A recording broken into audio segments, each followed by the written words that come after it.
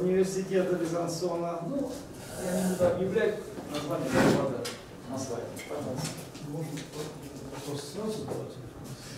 Можно сразу? Значит, э, сегодня, добрый вечер. Значит, э, как вы видите из э, названия доклада, сегодня речь пойдет об оценке и эмпирической эффективности э, многомерных моделей условной корреляции. Э, Мы будем э, главным образом э, сфокусированы на моделях так называемых нескалярных, нескалярного типа. И я расскажу вам немного о работе, которую мы, наша совместная работа выполнена с Коном Павлом Тега, который присутствует здесь в аудитории, и профессором из центра КОР Любовец. Значит, о чем пойдет речь? А, Краткий план. Э, Значит, вначале я расскажу немного, сделаю предварительное введение суть вопроса, э, что мы рассматриваем, какова цель. Э, Затем расскажу о э, определенной аргументации для использования этого типа модели, о которых пойдет речь, многомерных моделей волатильности. Затем расскажу, дам несколько примеров спецификаций для многомерных моделей, ковариаций и корреляций. Значит, три последних пункта это будет основной, основная тема этого доклада. Это как раз э, многомерные модели условной корреляции, э, методы оценки параметров таковых моделей и в конце будут приведены определенные результаты о оценке э, эмпирической эффективности данных моделей, сравнительный анализ на эмпирических данных. Значит, вначале, ну, введение будет носить такой характер немного общий, общий. Значит, о чем говорится, с чем мы работаем. Значит, у нас есть стандартное определение, у нас есть э, P и T, это какая-то э, цена нашего актива в момент времени T с индексом I. У нас есть однопериодная доходность э, таковых активов, которая определяется, ну, мы работаем в, наш, в данном случае с логарифмическими доходностями, поэтому определяется как просто разница натуральных логарифмов, здесь цены в данный момент времени и в предыдущий момент. Значит, э, каким образом а, приходят эмпирические данные о доходности активов? Как правило, это данные, которые поступают в виде временных рядов, и основной из характеристик таких временных рядов является частота. Значит, э, какие, э, какая частота бывает временного ряда? Это может быть низкая, высокая и ультравысокая, значит, сверхвысокая. Значит, мы будем работать с однодневными доходностями. Для сверхвысокой частоты временного ряда модели немного отличаются. Значит, и мы не будем касаться низкой э, частоты, так как модели, с которыми мы работаем, они э, сохраняют валидность лишь при условии э, высокой частоты. То есть в данном случае это от, частота от еженедельной до ежедневной. Ну, это основные. Значит, о чем мы говорим? Мы говорим о волатильности рынка. А, Что такое волатильность? Как ее определить? Как ее описать? Как ее прогнозировать? Это один из основных предметов изучения финансовой эконометрики. Данный доклад носит э, характер эконометрический. Мы э, определяем, пытаемся определить каким-то образом волатильность как какую-то количественную оценку изменчивости нашей доходности активов. И мы знаем э, несколько вещей о волатильности, что, во-первых, волатильность э, носит динамический характер, она изменчива со временем так же, как и доходность. Значит, э, есть э, неопределенность финансовых рынков и с точки зрения доходности активов, и с точки зрения их волатильности. И э, мы хотим каким-то образом измерить эту волатильность, э, имея лишь наблюдение э, доходности активов. И есть два основных подхода, как это можно сделать. Это можно сделать на основании э, подхода, который ориентирован на использование модели и на использование просто выборки наблюдений. Значит, что мы, какие варианты существуют, если мы используем лишь выборку и не привязываемся ни к одной модели? Значит, в этом случае мы можем моделировать, э, мы можем брать какие-то определенные оценки волатильности, мы берем просто матрицу по вариации, корреляционную матрицу, и э, есть варианты, каким образом мы можем ее оценить. Значит, с помощью окна мы берем э, длину окна, например, m наблюдений, мы подсчитываем э, на основе выборки наблюдений нашу корреляционную матрицу, мы берем диагональные элементы этой матрицы, квадратный корень, это будет наша волатильность э, доходности наших активов. Значит, второй вариант, как- мы можем подходить к этому вопросу, мы можем работать с так называемой realized vol- волатильностью. совсем уверена, что правильно будет перевести ее, как правильно перевести, но в литературе встречается реализуемая, реализующаяся волатильность. Значит, единственная разница между предыдущим вариантом и этим заключается в том, что если мы хотим, скажем, получить волатильность однодневную, работая с, э, временным рядом определенной частоты, мы для оценки этой матрицы ковариаций берем обязательно э, наблюдения, которые у нас э, взяты с частотой, которая превышает ту, которая нам нужна. То есть в данном случае это интрадейли. То есть если нам нужна однодневная, мы берем все наблюдения, которые взяты в течение дня, и вычисляем ее вот таким вот образом. Значит, это... Спросить, Да. Вместо достатка, почему тут среднюю считают, вот, как в предыдущей формуле? Средний? Почему реализованную волатильность считают как сумма R на R, а не R минус R средняя, R минус R средняя, как э, для роли? Потому что для ре- реализующейся волатильности предполагает, что наши доходности распределены нормальным образом. Поэтому мы можем описать как, э, эм, как дисперсию. Потом у нас получается единица, деленная на k, мы там перемножаем и получаем просто произведение. Это как разница между дисперсией и мотожиданием квадрата. Это вот мотожидание последнее, а первое это дисперсия. Первая выборочная. Ну, я могу показать, как это получается сейчас. Э, Нет, я, я, я видел, что это так используется, Ну, просто вот хочу понять, а какое оправдание к этой реализованной Ну, честно говоря, я не эксперт в реализующейся волатильности, я просто А, привожу правильно. способы, как Потому это Для меня всегда есть- была загадкой, почему не средний считается. Предполагаешь, что средний равно нулю на интрадей. Может быть, действительно, они считают, что на... Не знаю, Да, да, скорее всего. Скорее всего, считают, что на высоких частотах Да, скорее всего. средняя. Я, честно говоря, не знаю конкретно, каким образом вычисляется, но вот это вариант э, оценки, который используется очень Ну, часто так, в так практике. считаю, да. просто оправдание Да, да. Значит, э, еще вариант, который используется, ну, доклад, скажем так, я работаю с моделями, поэтому это просто иллюстрация того, какие оценки статистически используются для корреляционных матриц и почему, попытаюсь вам обосновать, почему именно модельный подход он является лучшим. Значит, еще вариант, э, э, э, вариант для, э, скажем, прокси для такой волатильности, какое-то приближение, это может быть даже абсолютная величина доходности. Это удивительно, но это то, что очень часто используется в практике.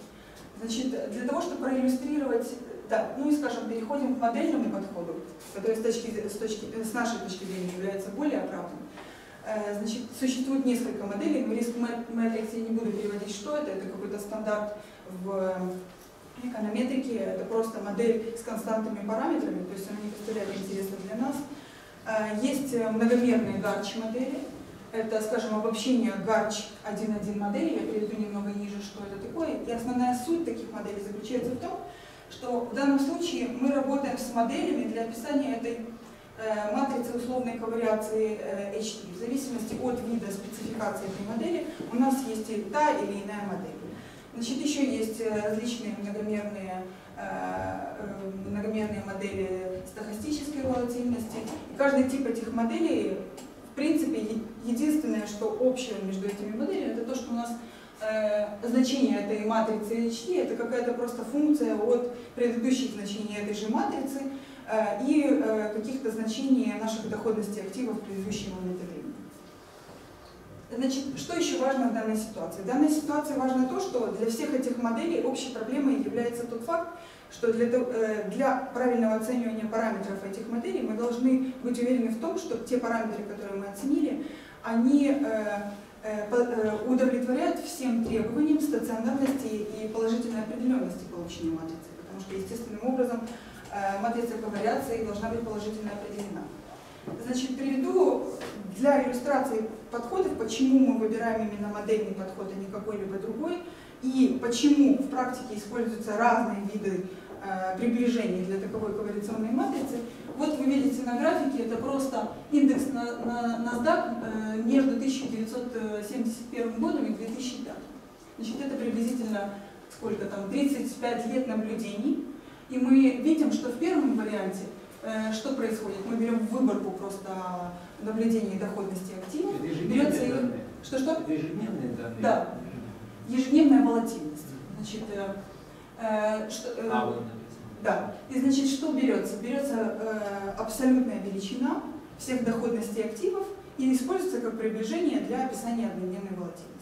Значит, как видно, э, значит, нижний вариант – это у нас волатильность, вот эта историческая волатильность, когда мы берем длину окна э, длиной 25 наблюдений, и просто беря эту выборку высчитывается величина, э, значит, э, высчитывается оценка для э, значений э, э, этой матрицы. Э, Средний вариант – это модельный подход. В данном случае приведем пример э, обычной Гарчи 1.1 модели. То есть, э, дальше я немножко напомню, что это такое. Единственное важное в этих трех графиках заключается в том, что в принципе, какой бы способ ни был выбран с точки зрения практики, в принципе, динамика волатильности, она приблизительно носит э, э, характер один и тот же. Поэтому очень часто в практике люди используют любой из этих методов. Однако, если мы посмотрим на наиболее широко рас- распространенные, скажем, э, приближения для такой э, волатильности, мы видим, что э, уровень зашумленности, так скажем, э, данных наблюдений очень высок. То есть мы видим, что э, среднеквадратичное отклонение гораздо выше для этого случая, чем для других. Что уже должно быть сигналом для Для того, чтобы... случая для вверху, Да, а там разве не? Э, сходные данные, но это приведено э, сре- сре- э, среднеквадратичное отклонение самого ряда. По всей Да, то есть в данном случае это 0,91, да, для других вариантов ниже. То есть, как правило, это то, что наблюдают в практике. То есть он гораздо, уровень шума гораздо выше. Рисовал. Да-да. 0,68 это опять-таки вот по этому ряду, по всей группе. Да, да, да, да. Уже по По полученному, полученному да, влажному. да, да, да. А какой их смысл? Ну, смысл заключается в том, что э, несмотря на то, что в практике используют гораздо, ну, э, э, скажем так, если у нас есть какая-то модель, которая описывает э, э, эволюцию нашей волатильности, э, то для нас очень важно, чтобы данные, которые мы получили с помощью этой модели, э, среднеквадратичное отклонение было как можно ниже. Почему? Потому что для нас очень важно не, э, не слишком идеально повторять значение волатильности, а получить какую-то модель, с помощью которой мы можем и прогнозировать значение. Что в данном случае очень сложная задача, потому что если среднеквадратичное отклонение у нас настолько высоко, где вероятность того, что данные, которые мы э, получили сегодня, будут валидны для прогноза, скажем, аж шагов в Нет, ну будущее. какое странное. Возьмите константу, тогда вообще будет еще лучше. Но здесь надо, нужен какой-то баланс между, между имением, модели какой-то и между тем, э, какой способ из этих всех вы- выбрать. Зависит от цели задачи. То есть вы считаете, что Заранее нельзя сказать, что лучше. Ну, ну, очень часто в виде, в виде волатильности берется константа во многих моделях. Да? Но это не означает, что это хорошо или что это плохо, есть свои Зависит от слабости, задачи. естественно. Еще видно, как по- похоже вот это второй, третий график. Э, да, безусловно. Да. Но тут есть сложность одна. Сложность в том, какую величину окна выбрать. Да, вот. И опять-таки, имея модель, мы не привязываемся к тому, э, как мы работаем с выборкой. Мы можем работать с моделью, имея те данные, которые у нас есть. Нам не нужно беспокоиться о том, какую ширину окна выбирать, какие, в какой момент времени это делать. Да, так далее, и зато так далее. что выбирается из 20 моделей, что примерно. Ну, что мы, по сути, и будем делать. да. Людмила, а можно спросить? Да-да. А как все-таки мы там А. э, характеризуем одна модель лучше другой или хуже? То есть что здесь напишем? Значит, основным обоснованием для того, чтобы работать с моделями, э, с моей точки зрения, является тот факт, что мы можем э, прогнозировать. Когда у нас есть модель, которая описывает какую-то динамику процесса, мы, в принципе, можем описать... э, А потом мы можем сравнивать, то есть наши... Безусловно. Ну. Да. Что совершенно непонятно, что делать в случае, когда э, у нас э, лишь оценка нашей корреляционной матрицы, э, базированная просто на выборке. Что с ней делать? Так вот, на этом слайде я привожу, что происходит э, тогда, когда, в принципе, э, за прогноз берется то значение, которое получено в момент времени t равно t большому. Да? Очень часто в практике что происходит? Берется, скажем, ну в данном случае это историческая волатильность, которая была э, получена, корреляционная матрица с помощью какого-то окна M наблюдений. И считается, что через H шагов в будущее у нас значение будет то же самое. Вот что происходит на практике. Второй подход. Это не использовать модели для описания динамики самого, э, самой э, матрицы условной э, ковариации, но использовать модель для предсказаний. То есть берется, например, линейная какая-то модель, и зная э, значение наших исторических волатильностей, мы можем построить какую-то линейную модель, которая даст нам прогноз на H шагов в будущее. Это модель уже для самой H, да? Или Нет, это модель только для прогноза. Я понимаю, но для, модель для прогноза H. а Для прогноза H. Именно H. Да, Модель именно. самой H. Именно. Тогда э, вопрос в данном контексте э, э, можно озвучить так, что в таком случае, если мы используем модель просто для прогноза, имея э, значение э, корреляционных матриц, которые мы получили на основе выбора, почему мы не используем и модель для того, чтобы описать саму вещь, для получения ее.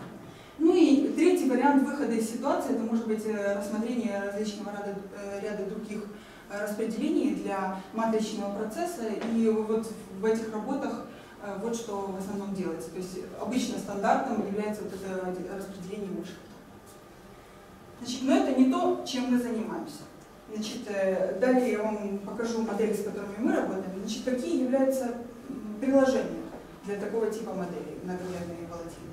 Ну, в основном два основных приложения, и это те приложения, на которые в основном обращают внимание в литературе, это э, значит, э, э, конструкция, то есть создание оптимального портфеля.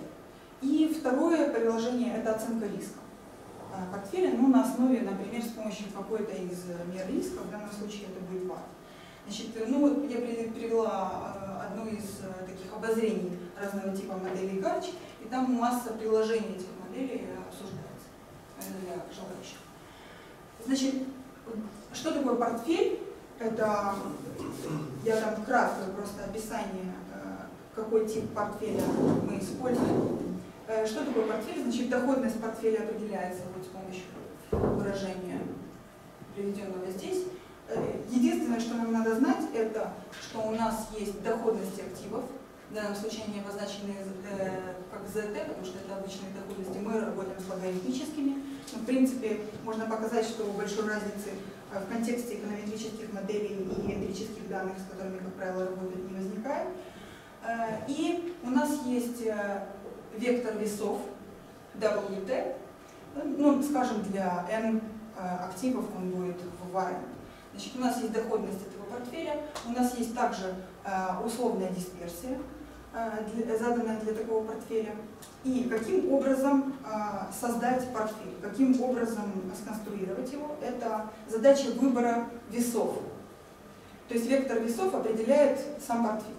Значит, э, два основных таких типа, с которыми мы работали, это вот э, э, портфель, который так называемый MVP портфель, то есть он получен с точки зрения соображения типа морковицы, то есть когда мы минимизируем условную, э, значит, э, условную дисперсию портфеля, это дает нам значение для вектора весов, который является оптимальным.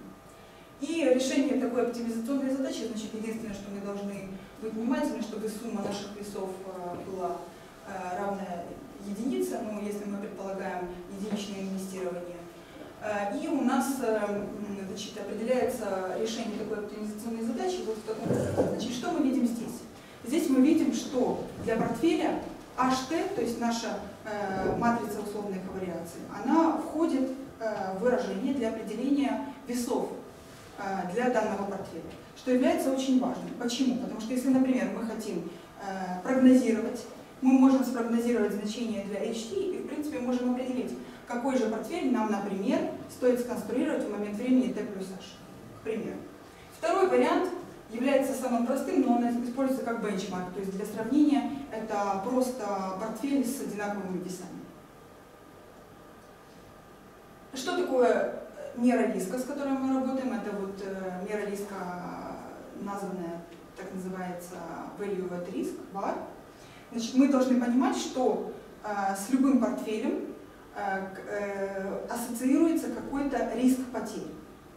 И э, существуют количественные меры риска, их существует огромное количество, но скажем, э, в данном случае мы работаем с варом. И в рамках э, базовских соглашений предполагается, что э, каждый банк должен э, проводить политику э, оценки, а также прогнозирования вара, который, э, который э, ассоциирован с портфелями, которые он удерживает. Значит, что такое вар? Я дам краткое определение.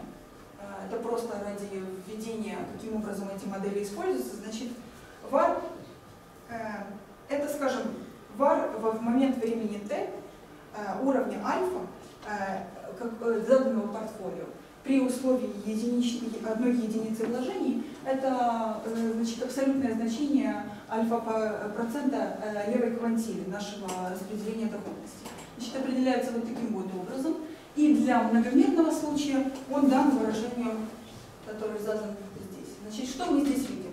Здесь мы видим, что как и в случае с э, портфелем, когда мы решали оптимизационную задачу для получения нашего вектора весов, у нас есть э, наша, э, значит, наша дисперсия нашего портфеля условная, которая входит здесь в выражение.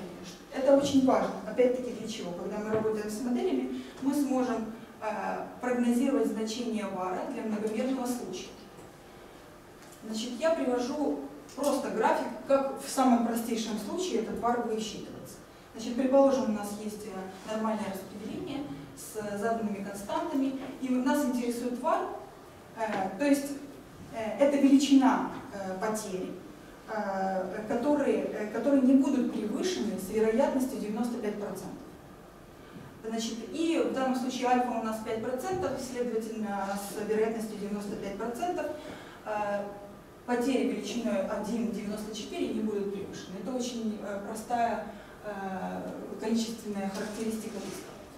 А другие меры риска вы не рассматриваете? Нет. Вар, сейчас становится менее популярным, потому что там вот у вас Ну. нормальность предполагается, а во-вторых, некоherентная мера риска. Э, ск- Скажем так, мы используем VAR э, только для того, чтобы сравнивать э, для одного из тестов статистических, где мы сравниваем э, эффективность наших э, моделей. То есть это один из тестов. Поэтому для нас не настолько существенно было, какую именно меру риска вы выбирать в данном случае.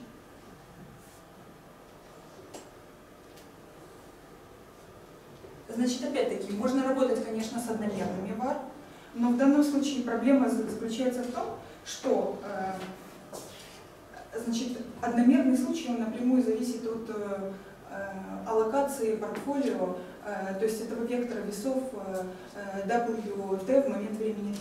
И каждый раз приходится повторять эту процедуру. Значит, в данном случае что мы делаем? Мы руководствуемся моделью для HT, которая будет для нас многомерной, и мы сможем работать с многомерной. Значит, сейчас я кратко пос- постаралась рассказать вам, какие приложения наших моделей, а теперь мы переходим к описанию, а, скажем, огромного количества моделей, которые существуют. Я дам краткий список, а, какие их осо- особенности, какие у них общие черты, чем они отличаются, и потом конкретно дам описание моделей, с которыми мы работаем. Значит, что такое многомерные гарч-модели? Многомерные гарч-модели, я уже э, на предыдущих слайдах приводила это выражение, Значит, мы рассматриваем какой-то n-мерную, условно гетероскедастичную э, э, процесс, который у нас описан в, ди- э, в дискретном времени, в данном случае это RT, Значит, при условии, что у нас инновации XIT распределены вот таким образом, то есть у нас среднее равно нулю, а у нас матрица ковариации является просто единичной матрицей. Значит, что здесь важно, что э, существует огромное количество описаний таковых э, э, моделей для э, спецификации выражения для э, которая, естественно, должна быть э, положительно определенной. Значит, по сути дела, все модели многомерного характера для э, данного случая варьируются только в зависимости от спецификации этого HT. И существует две основные группы. Мы будем работать со второй группой. Значит, первая группа – это э, обобщение модели Гарча 1.1 разного вида. Это всегда модели, которые описывают э, значение э, матрицы условной ковариации в момент времени t э, напрямую от ее же значений в предыдущие моменты времени и от э, дополнительной информации. Значит, что делается во второй группе? Во второй группе подход немного другой. Мы описываем динамику э, нашего матричного процесса для условной ковариации через условные корреляции. В этом основная разница между этими двумя группами. Значит, что такое, один из примеров, я приведу два примера или три э, значит, такого рода многомерных гарч моделей. Что это за модели? Ну вот, например, приведен э, вариант э, векториальной гарч модели. Э, в литературе носит название ВЭК. Значит, это Балерсли в 1988 году.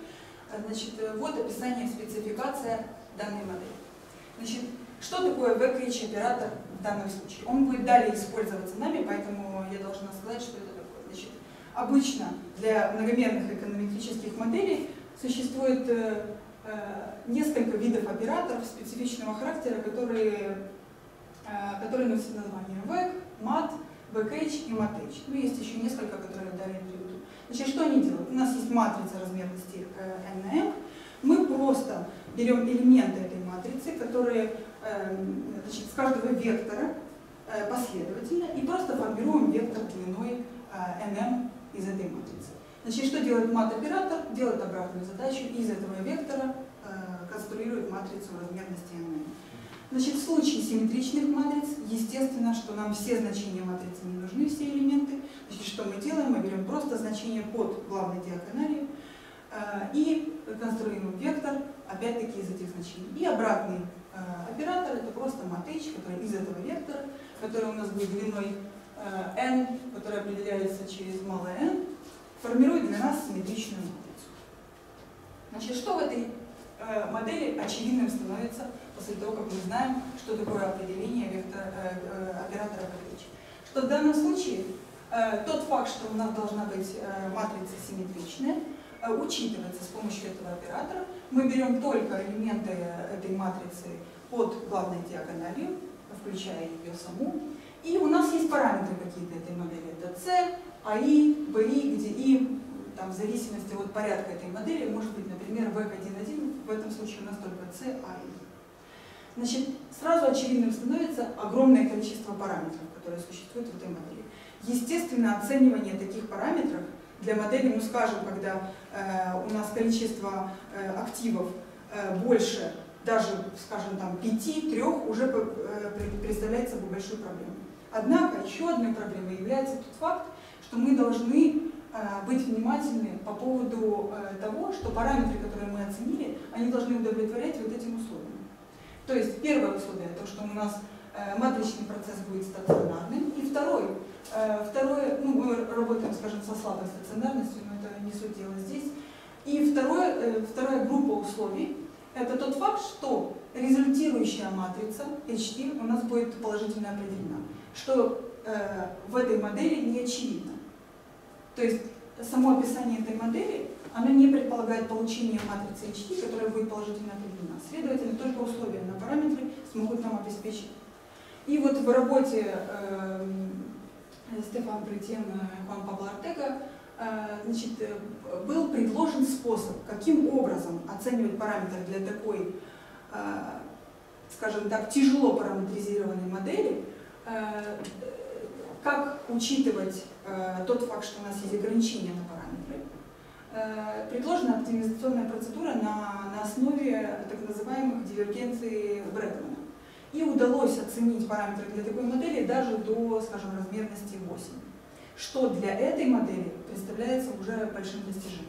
Значит, что мы будем делать в дальнейшем? Мы будем использовать этот алгоритм для другого типа моделей, которые более представляются интересными.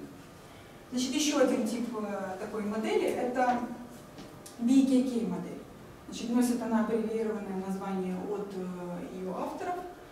Э, и разница между предыдущей моделью и этой заключается в том, что в погоне за уменьшением количества ограничений, которые у нас существуют, накладываем на, параметры, мы записываем параметры модели А и В вот в таком вот виде что автоматически обеспечивает нам положительную определенность результирующей матрицы HT. Следовательно, ограничения, которые э, гарантируют нам ее положительную определенность, уже нам не нужны. Единственное ограничение – это, записанное вот в этом виде, это единственная э, проблема, которая встречается в этой модели. Значит, опять-таки сложность заключается в огромном количестве параметров, а, сложности оценки и так далее, и так далее. Значит, теперь мы переходим к той части моего доклада, основной э, акцент, э, на который мы делаем в своей работе. Значит, мы работаем со второй группой этих моделей. Значит, это специфичные модели, которые описывают э, динамику условной ковариации через условные корреляции, скажем так. Значит, основная суть конструкции и затем оценивания параметров этой модели заключается в следующем.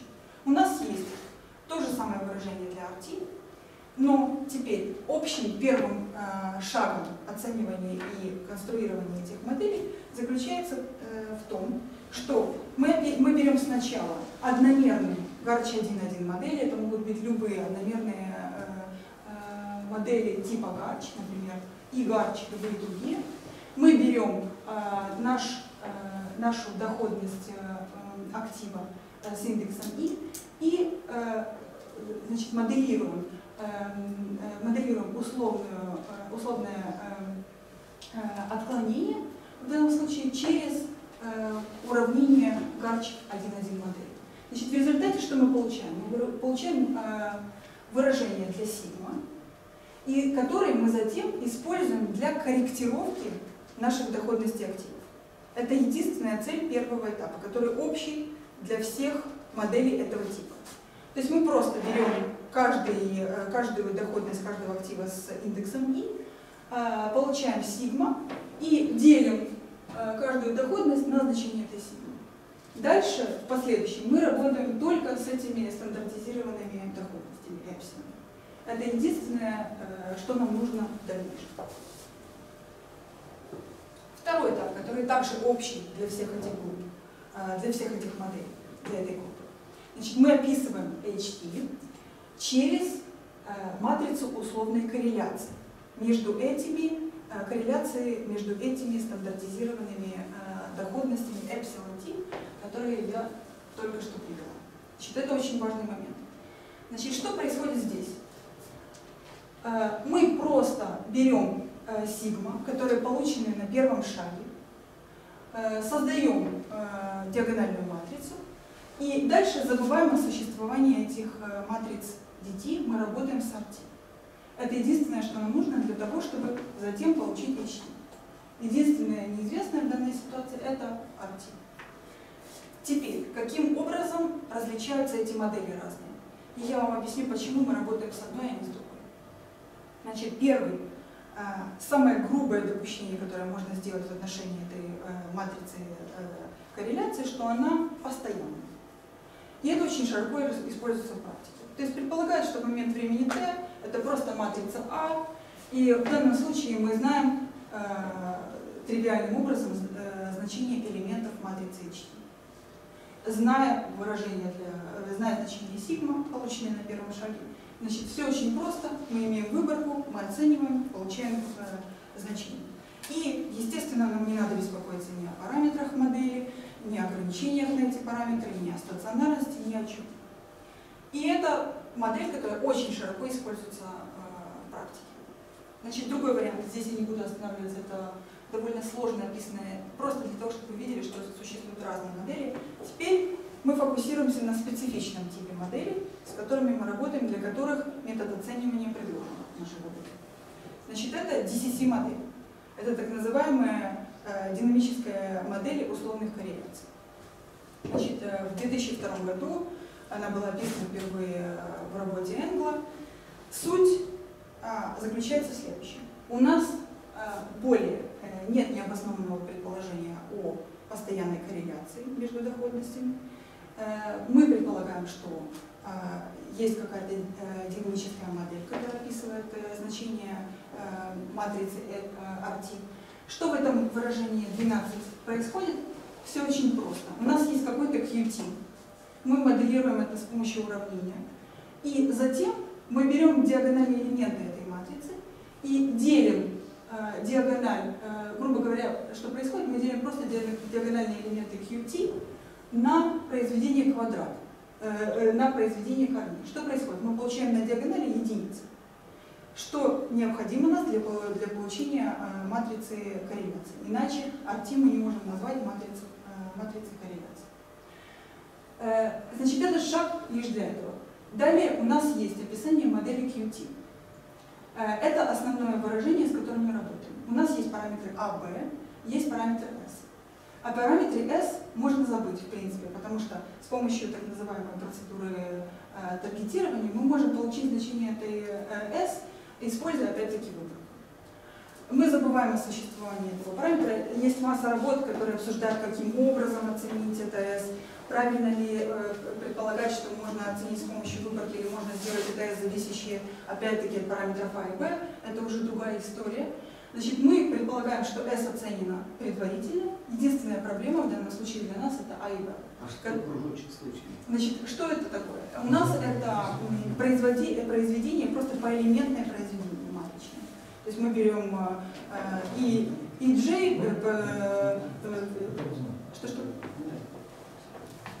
Значит, можно посмотреть на это выражение и забыть о том, что у нас есть матрицы. Что у нас есть? У нас есть какая-то постоянная, э, постоянный член, у нас есть параметр А, у нас есть э, произведение предыдущих значений доходности этих э, стандар- стандартизированных доходностей эпсилон и предыдущие значения QT. То есть, в принципе, динамика очень похожа, например, на Гарч модель. Э, Какова сложность данной ситуации? Сложность заключается в том, что, естественно, когда у нас n а, велико, достаточно велико, а, количество параметров, естественно, э, даже если мы работаем э, с матрицей А и Б, которые являются симметричными, это будет большое n, то есть это 1 вторая n плюс 1. И у нас таковых матриц нет. То есть понятное дело, что количество параметров огромное. А, Что делать в, данном, в данной ситуации, когда методов оценивания таких параметров не существует? Непонятно, как оценить такую модель, несмотря на то, что предполагается, что она должна быть а, хорошей, адекватной, корректной и так далее. Что делать в данном случае? Предполагают, хорошо, мы не можем оценить все параметры этих э, матриц. Э, Значит, я вернусь Да, здесь я должна э, сделать небольшое отклонение значит, сторону. Несмотря на то, что э, у нас есть вот это выражение 15, у нас есть эта модель, опять-таки, те же сложности, которые возникали у нас на предыдущих типах моделей, во всех моделях они присутствуют, опять-таки у нас есть ограничения на параметры, которые э, э, должны быть учтены.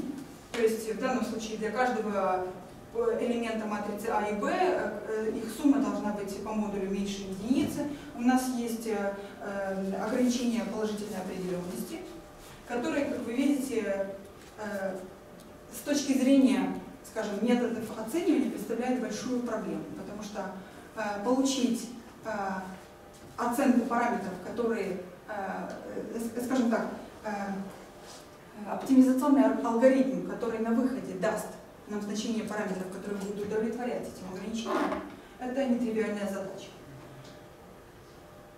Значит, поэтому, значит, какие основные вопросы возникают в данном конте- контексте? Это различные способы описания эти- этих матриц А, А и Б. То есть, что надо, каким образом надо э, э, описать эти матрицы, скажем, э, какую спецификацию для этих матриц выбрать, для того, чтобы нам было проще оценить э, эти параметры. И предложить какие-то методы оценки, и в дальнейшем посмотреть, какие же из этих различного рода моделей, которые я вам сейчас покажу, будут лучше. Значит, основной акцент нашей работы – это так на- так называемых четырех, ну, можно сказать, пяти видах этих DCC моделей. Значит, в первом виде модели у нас нет никакого допущения по поводу э, э, значит, э, матрицы А и Б, кроме того, что они симметричные, и э, больше, по сути, мы ничего не знаем. Второе – это когда у нас матрица э, образована произведением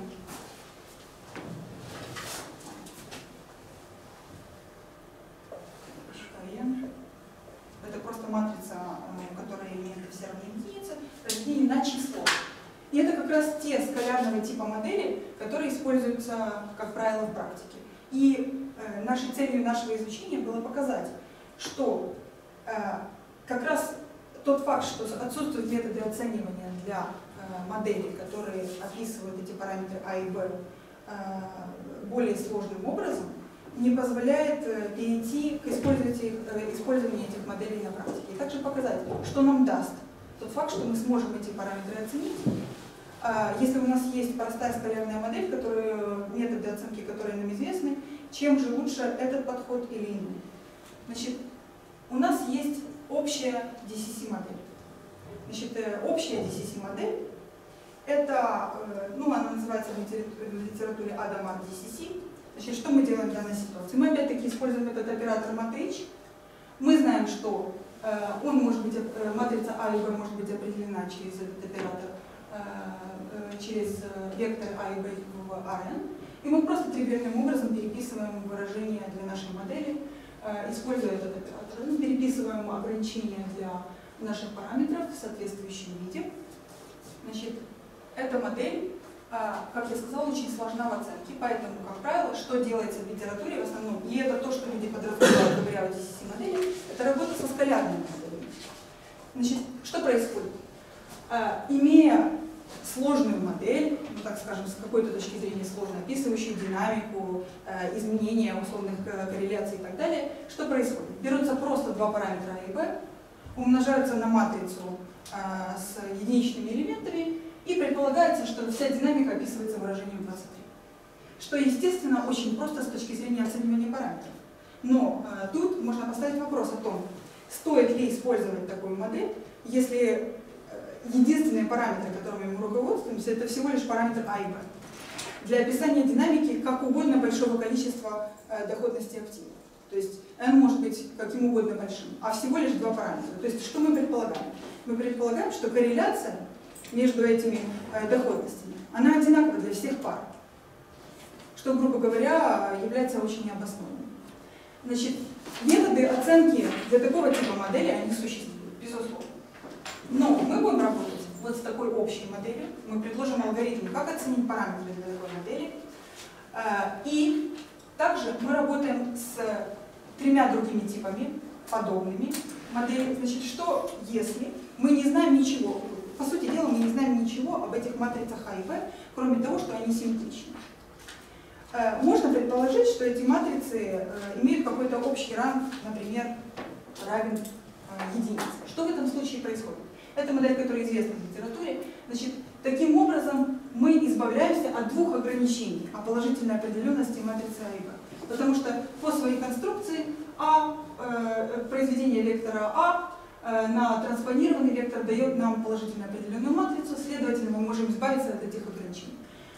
И что еще здесь происходит? У нас есть еще одно ограничение идентификации, которое позволяет нам уникальным образом идентифицировать параметры.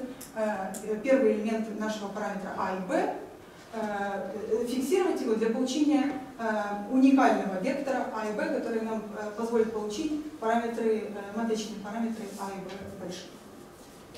Значит, это такой вид модели.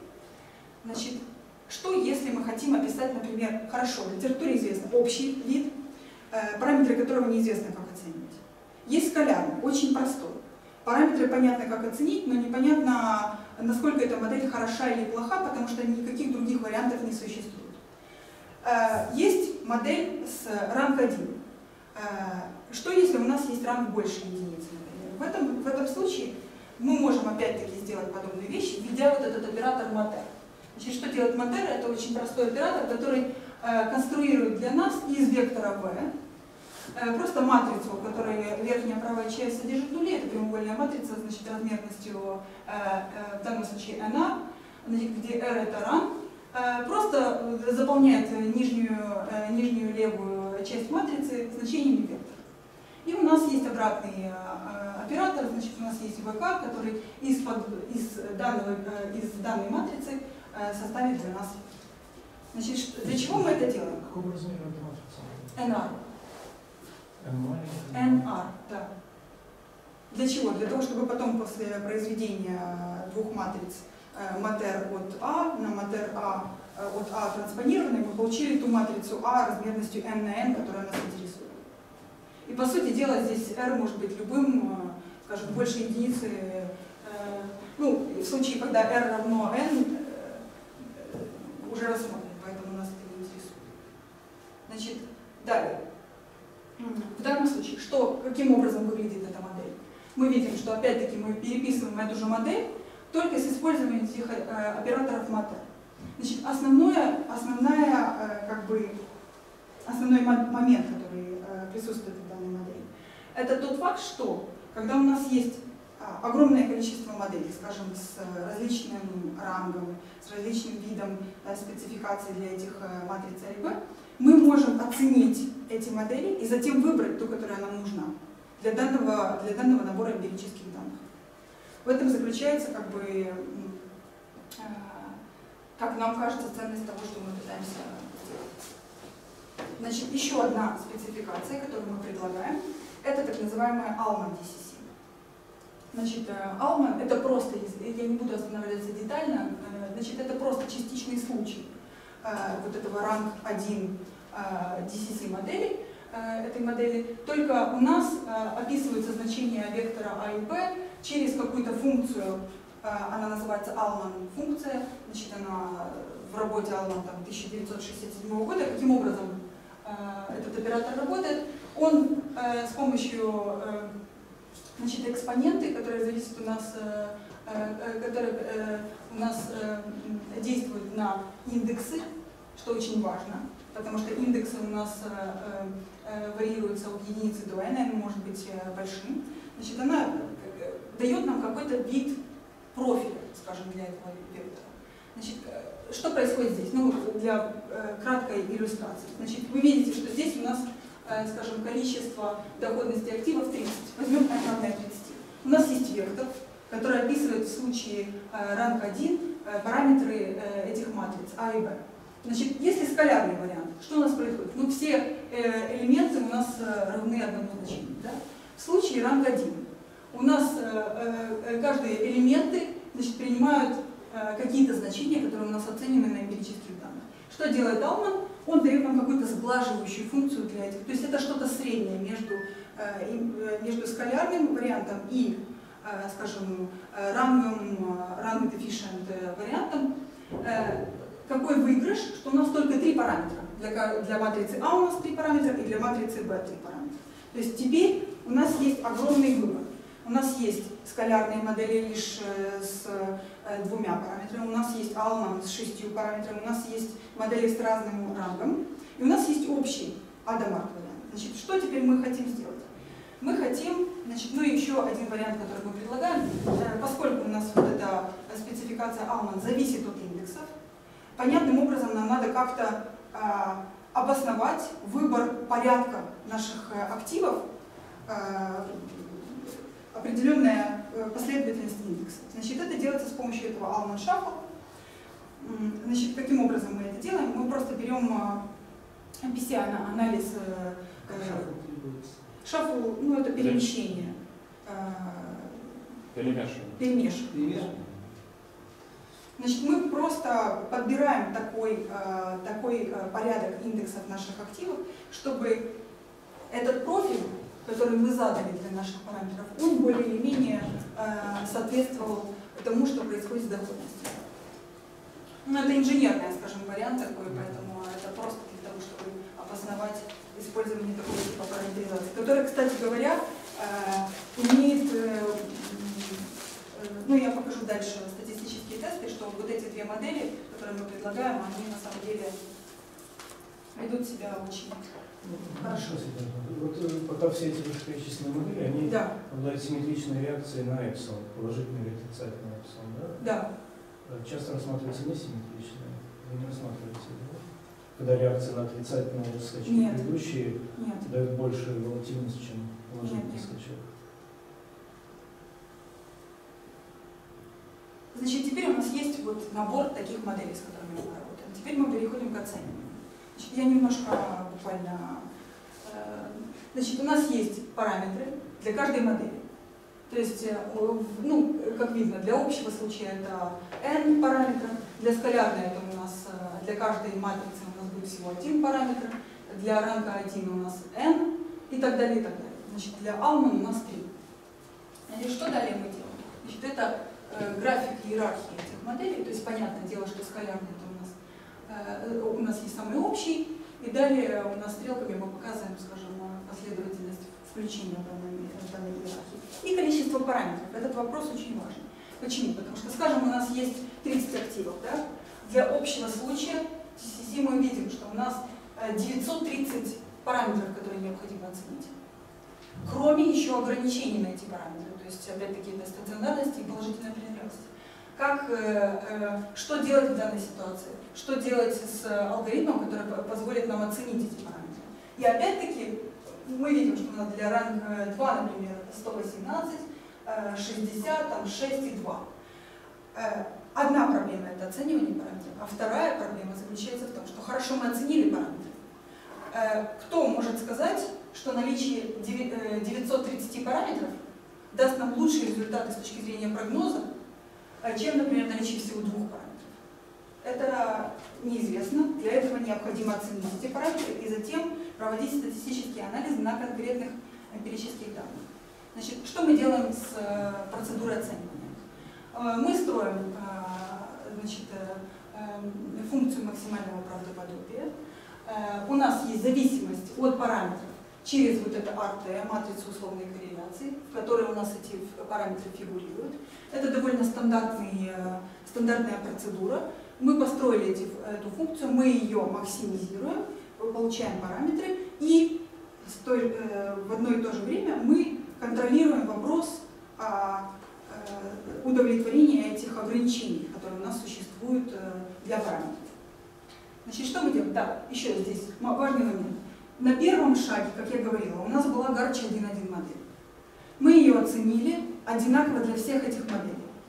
И мы заменили э, параметр θ1 здесь на эту оценку и забыли про него. В дальнейшем мы работаем лишь с функцией, которая зависит от этой θ, которая включает в себя эти два параметра, которые специфичны для каждого типа из этих описаний модели.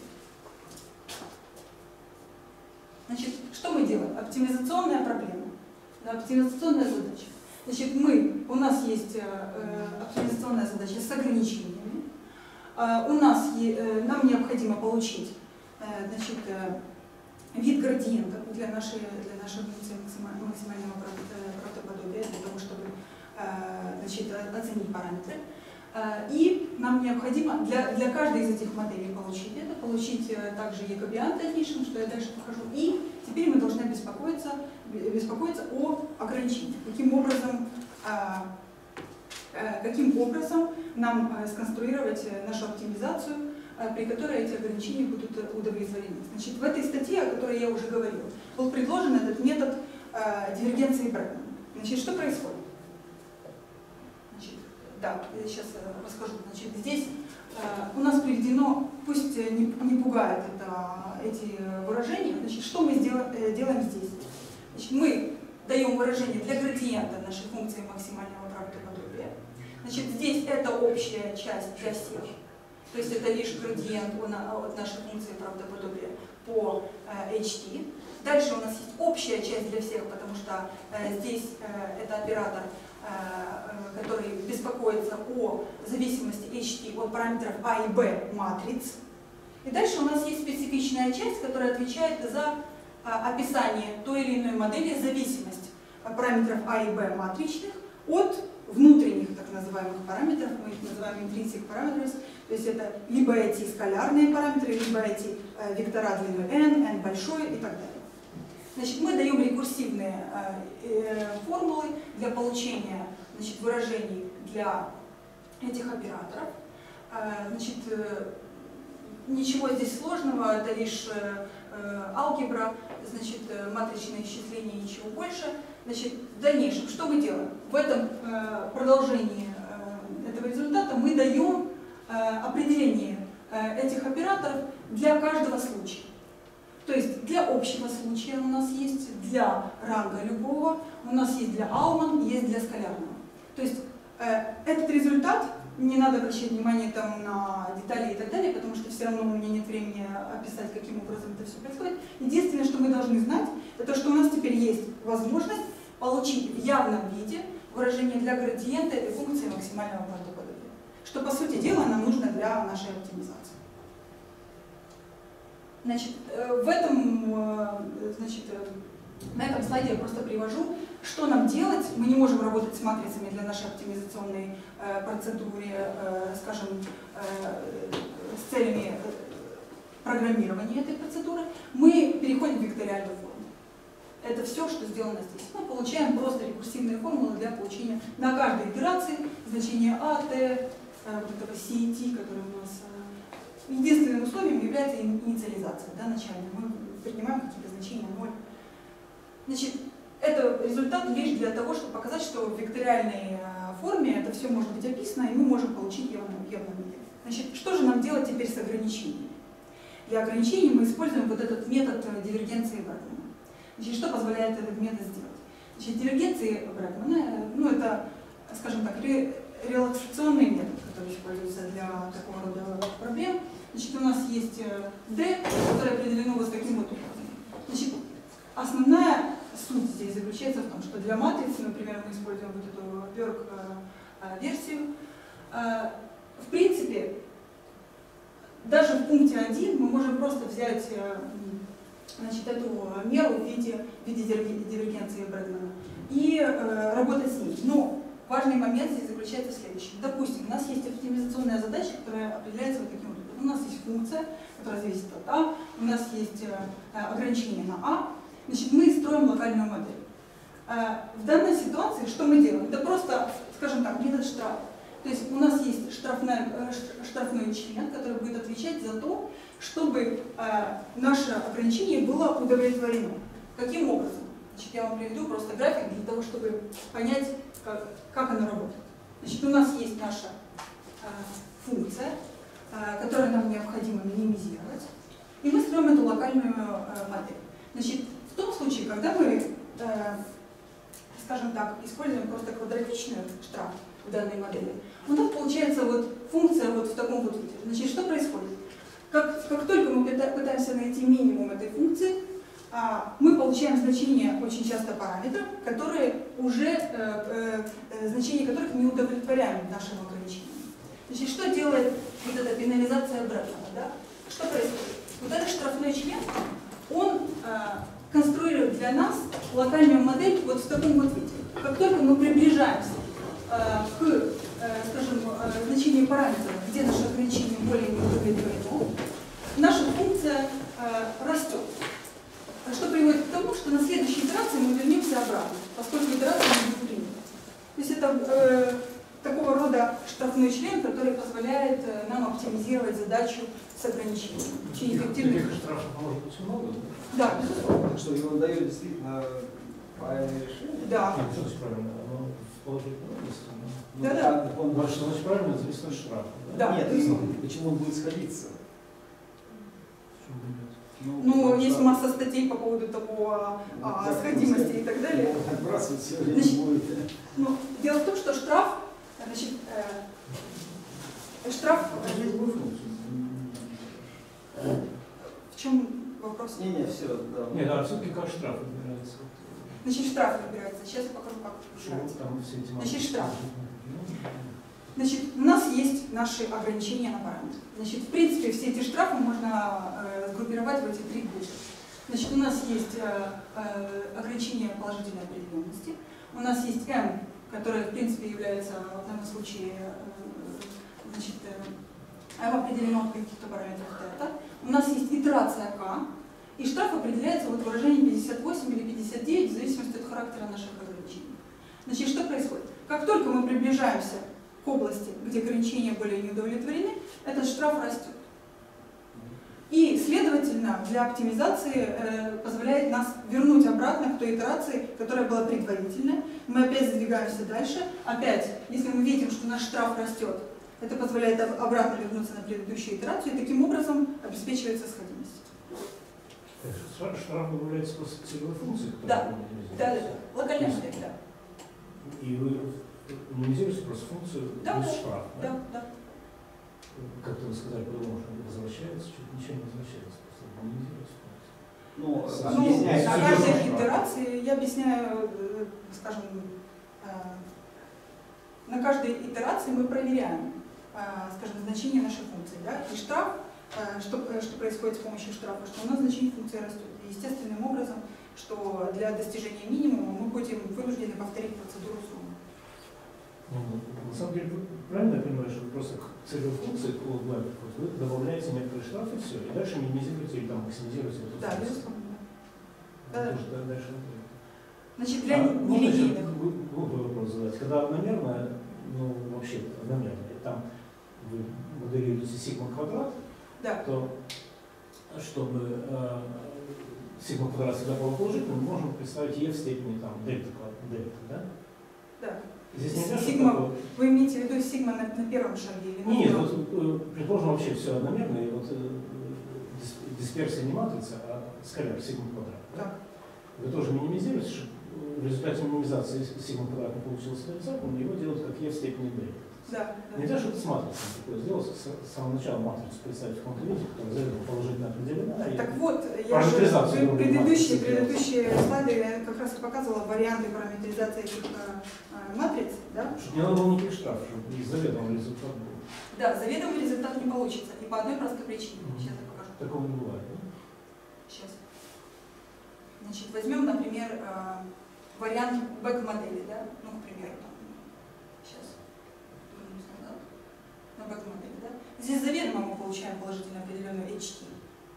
Да? Но у нас, тем не менее, есть э, э, ограничения, на, э, связанные со стационарностью. То есть все равно мы не можем представить эти, векторы, э, эти матрицы в каком-то виде таком, чтобы все равно обеспечить стационарность. В любом случае нам придется работать с ограничениями.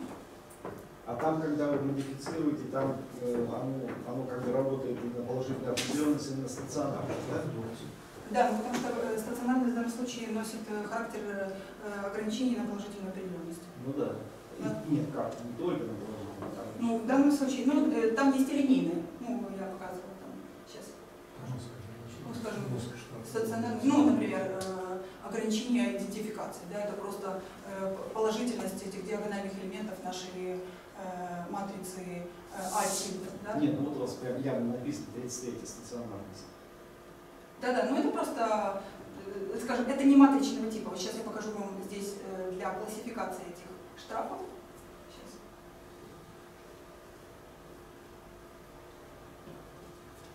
То есть, то есть на самом деле получается так, мы группируем их на э, ограничения, которые имеют дело просто с положительностью. Есть ограничения, которые работают с матрицами. Но по сути дела мы используем те же самые штрафы для всех, для всех этих типов ограничений. Естественно, если у нас ограничение какого-то линейного характера или э, не матричного типа, то, э, возможно, нет э, ни- никакого смысла работать с такого типа штрафом, это слишком сложно. Э, но в данном случае, когда мы имеем дело с матрицами, нам надо необходимо эм, удовлетворить положительные определенности, задача э, представляется сложной. Я не знаю, как по-другому, скажем, э, можно э, с этими ограничениями работать.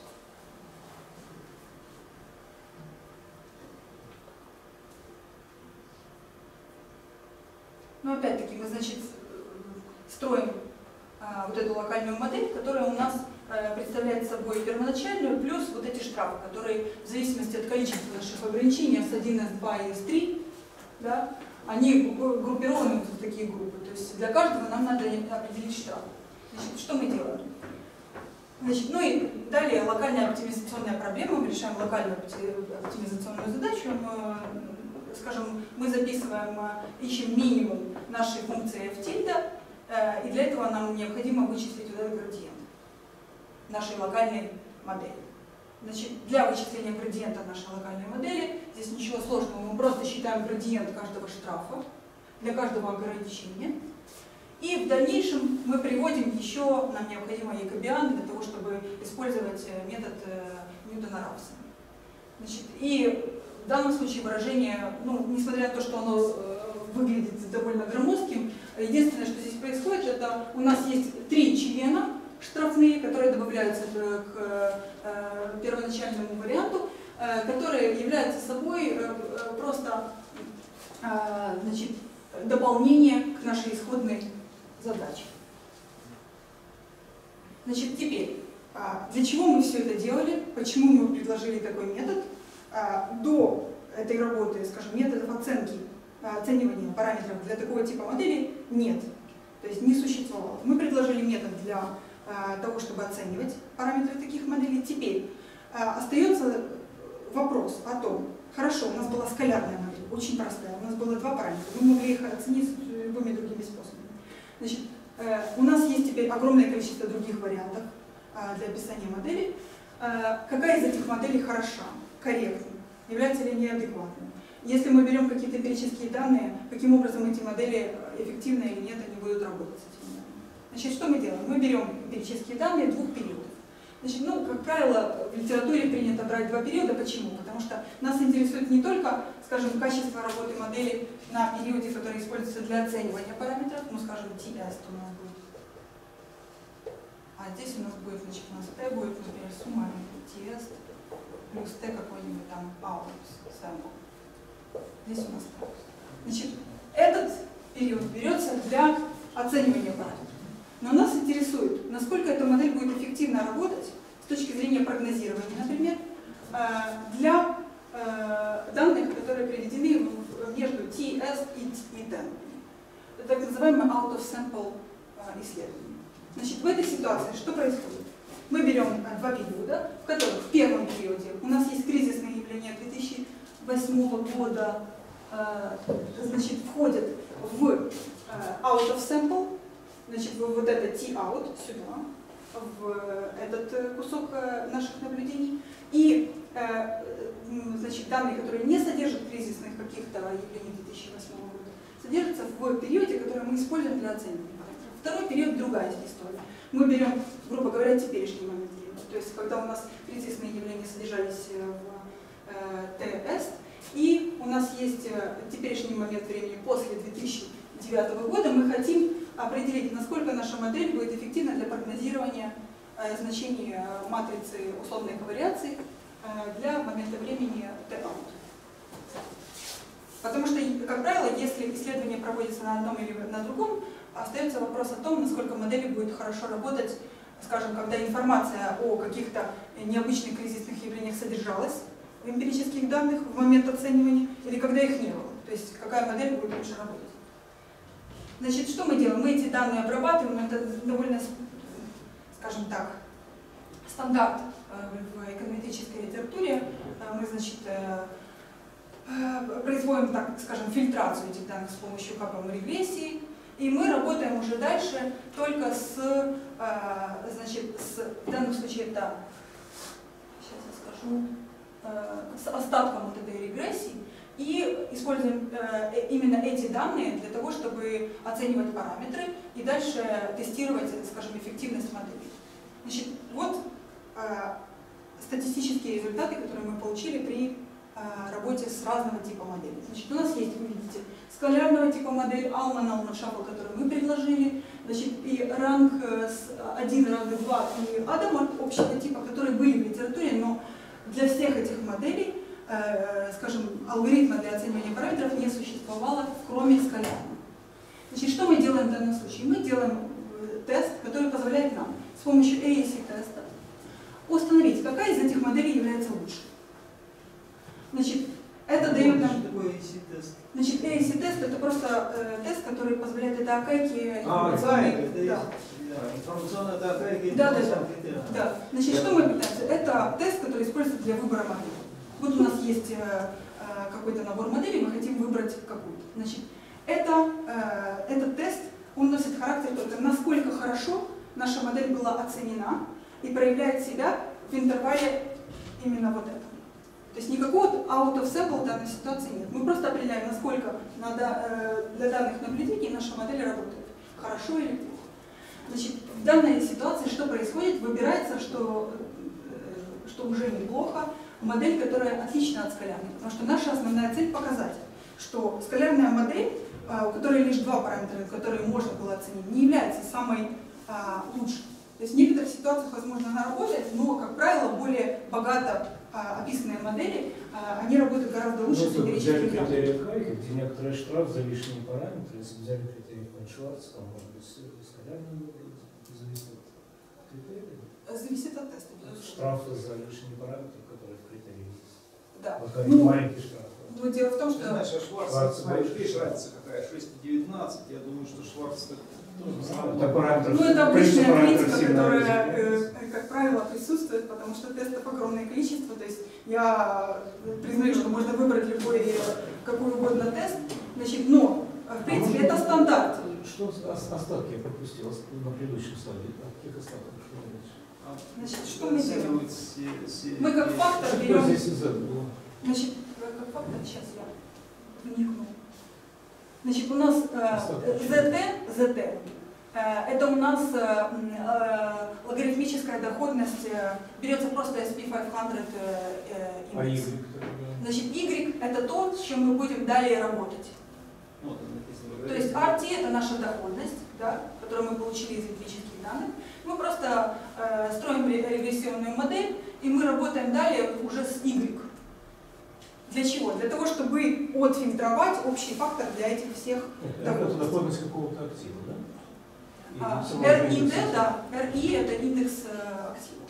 И это Доходность. актива. Да, и Доходность. это- Да-да-да, а доходность. РТ это доходность в момент Т, доход актива. Да. Значит, Ну, не понял. А Z это это доходность стандарт. нет, нет, ZT это общий фактор э, Это SP500. индекс. Мы берем этот индекс. Доходность индекс. Да, Да, да. А Y? А Y это то, что у нас э, э, получается после регрессии. А вот смотрите, там, там все написано, и это логарифм Может, знаете, расхода на что-то там- Сейчас тут не то. Да, А что-то- вверху написано определение. А, правильно. Знаки так. Э, Нет, нет, дело в том, что э, в предыдущих, сейчас я, э, я изменила просто на Да, здесь. вот э, здесь, сейчас. Получается, Y и R вроде одно и то же. Нет, R, наверное. Сейчас, секунду. Э, э, а, да, э, совершенно верно. общем, остатки регрессии актива на стандарт. Совершенно верно. Поскольку здесь со знаками минус, мы просто переписали а, остатки в э, левую часть. Мы работаем теперь также с э, RIT, как мы и работаем. Э, Я просто да, изменила здесь определение для...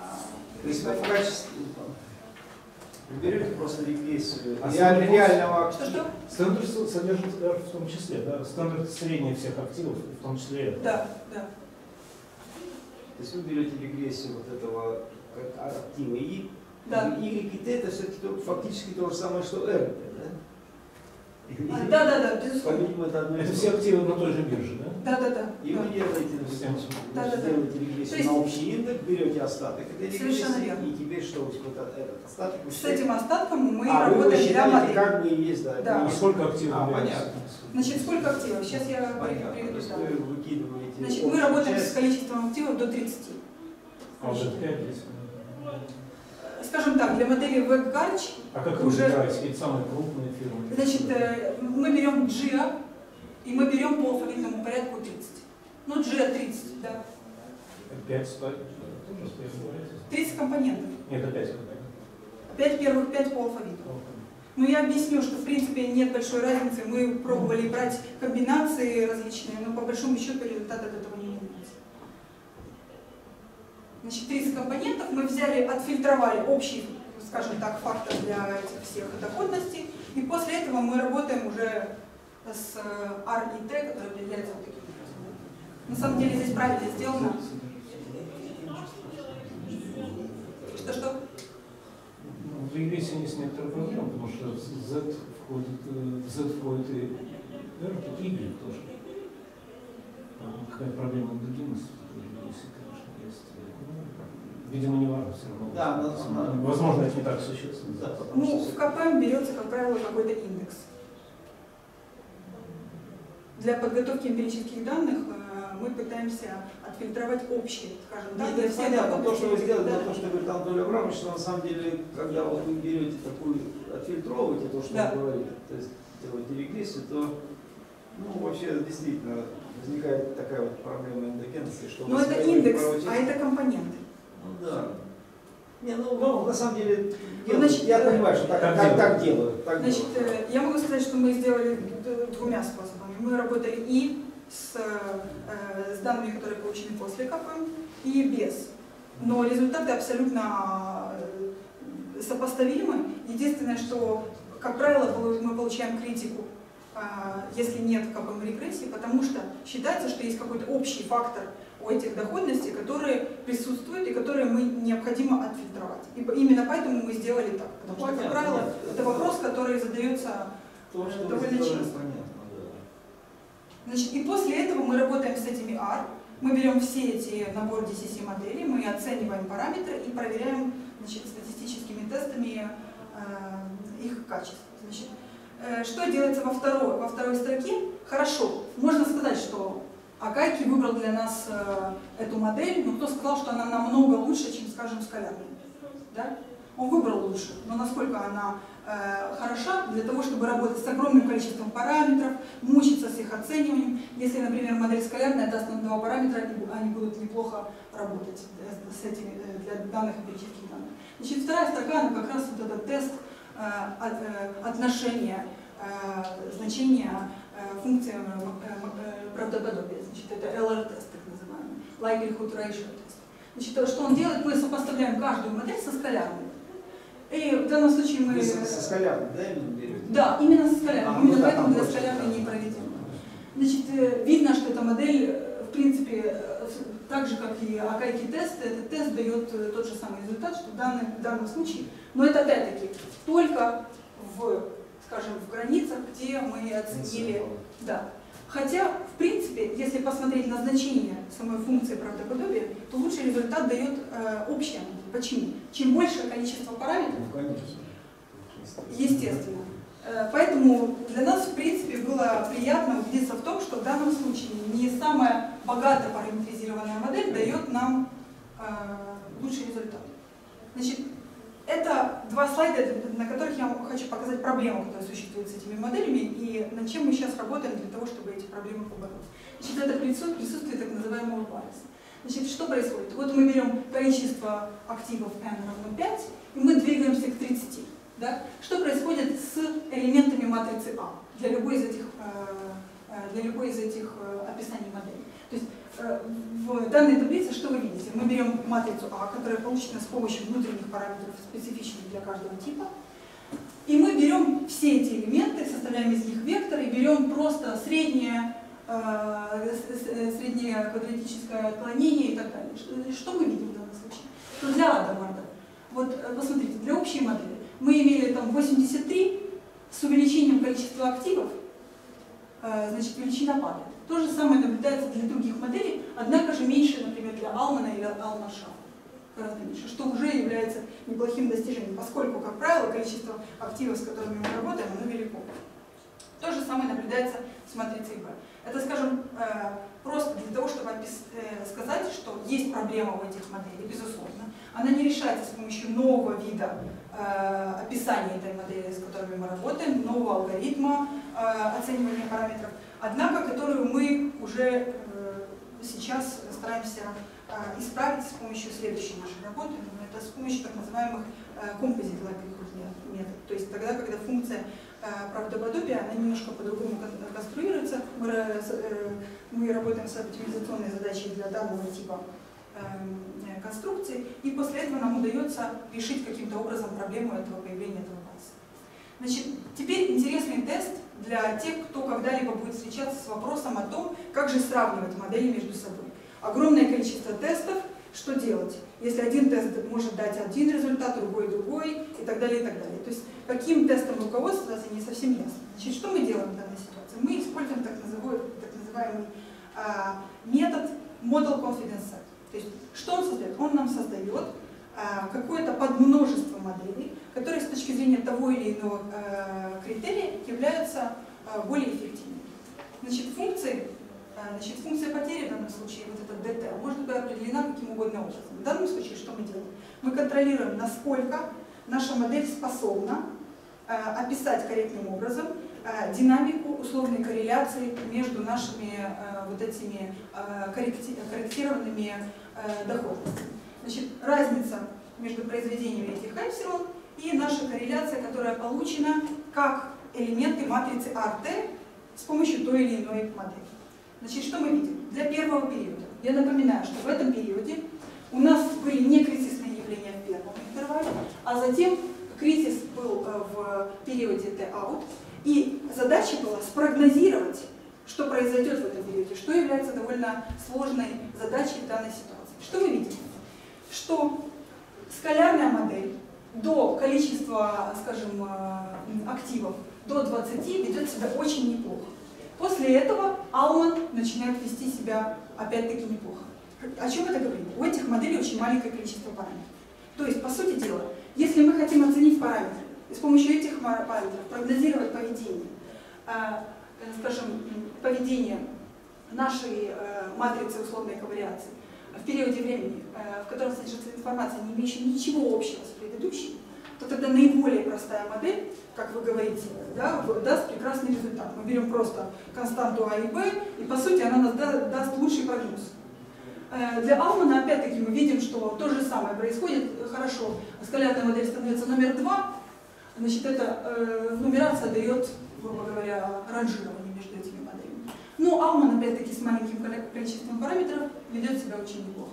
Все то, что не, э, не обозначено жирным и не красное, э, э, с точки зрения статистического теста, не значимо. То есть, в принципе, мы можем забыть о других результатах, которые приведены в черном, то есть эти модели неразличимы между собой. Значит, что происходит в периоде 2? То есть, по сути, это период, в котором мы сейчас живем. Значит, в этой ситуации мы видим, что Алман Шафл, да, и модель Алман, по сути дела, для различного количества э, активов ведет себя, ну, если мы посмотрим на общее очко как бы, этих моделей, то оно минимальное для Alman Да? И по сути дела, вот эти две модели, ну плюс еще э, ранг 1 модель, являются лучшими. Ранг 1 и Alman это обе модели ранг 1. То есть, по сути дела, просто по, э, описание немного разное. Но по сути, Значит, о чем это говорит? Это говорит о том, что когда у нас в периоде содержится больше информации, о том, что происходит дальше, в принципе, прогнозирование осуществляется более точным образом. Но это период, когда у вас там два кризиса было на тестовом периоде, на периоде да, оценивания. Да. Возможно, если в скалярную модель там включить вот эти несимметрии, то и скалярная была бы лучше. Ну, мы сравниваем. На самом деле, э, те модели, которые я показала, это не, не все, с которыми. У нас есть огромное количество, то есть тесты проведены на огромное количество моделей, но... Включающие несимметричную реакцию. Ну, несимметричная реакция, э, есть, э, есть разные виды несимметричных э, моделей, для данного случая, например, в статьях э, Энгла и его коллабораторов. Да? Там есть таблицы на тех же данных, то есть почему выбор такой данных? Чтобы мы могли сравнивать с другими результатами, которые получим. Как правило, набор один и тот же, потому что можно сказать, хорошо, у вас эмпирические данные вот такие, у других другие, и каким образом сравнивать неизвестно. Значит, это, э, скажем, один вариант. И что является, по сути дела, да, и все, все, я последний, это последний слайд. Да. Э, значит, э, что, что мы, значит, сделали? Мы, по сути дела, предоставляем а, первый результат а, по поводу оптимизационного метода, который позволяет оценить параметры для всех этих модулей и впоследствии их сравнить. Значит, до размерности n равно 30, до 30 активов мы провели вычисление, то есть этот алгоритм работает а, довольно быстро. А, и что мы планируем, это мы, мы планируем значит, попробовать это для другого типа моделей, а также попробовать, а, скажем так, побороть изъяны этих моделей, это наличие этого байса, какие-либо другие, и с помощью, вот, например, этого композитора. То есть это то направление, в котором мы двигаемся момент. И предлагаем новую модель. То есть мы пытаемся предложить свою модель, которая по типу этой векториальной модели Гарч, только с немного другим описанием. Спасибо.